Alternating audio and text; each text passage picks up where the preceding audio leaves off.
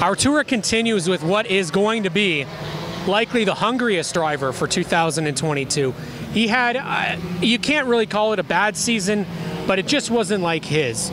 Uh, Kevin Lacroix in this number 74 has been one of the top picks to do really, really well this season. So let's make sure that we keep, keep him out uh, an eye for the championship for sure. Uh, Kevin's got Don Thompson Jr. once again as his crew chief. You don't want to mess with this combination because they're really, really good together. Uh, we definitely want to think that these guys are going to be in the championship battle at the end of 2022.